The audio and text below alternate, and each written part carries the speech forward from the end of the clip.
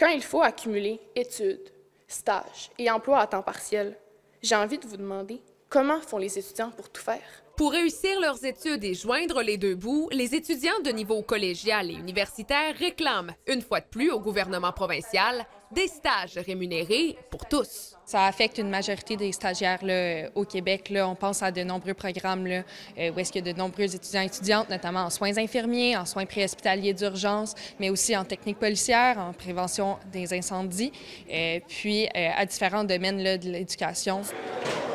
Sur les 16 programmes techniques au cégep de Chicoutimi où les stages sont obligatoires pour l'obtention d'un diplôme, 10, soit plus de la moitié, ne sont toujours pas rémunérés. Dormiez fort. Au cégep de Chicoutimi, sur nos 2031 étudiants, 1318 sont dans un programme en technique, soit 65% de nos étudiants qui devront assurément réaliser des stages dans le système collégial en étant probablement non rémunérés. Je vais prendre un doigt qui font leur stage de nuit, ils rentrent au cégep à 8 heures le matin le lundi pour un cours. Puis après ça, on, s'attend à ce qu'ils soient capables de travailler pour subvenir à leurs besoins.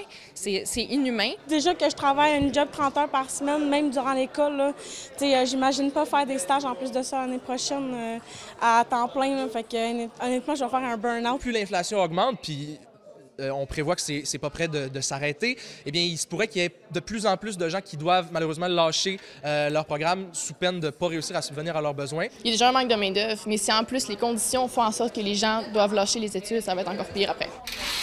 Pour que tous les stages dans le secteur public soient rémunérés à l'échelle provinciale, le gouvernement doit investir 388 millions de dollars selon l'Institut de recherche et d'information socio-économique. Si on est des anges gardiens, ce serait le temps de nous le prouver. Ça fait des années qu'on l'attend, la rémunération de nos stages. Donc, euh, on, on s'attend à ce que des changements soient, soient faits euh, de manière imminente, surtout avec euh, l'énoncé économique du 7 novembre prochain. Pour appuyer ces revendications, les trois associations étudiantes d'enseignement supérieur du Saguenay tiendront mercredi une assemblée générale pour obtenir un mandat de grève. Catherine Boucher, TVA Nouvelle, Saguenay.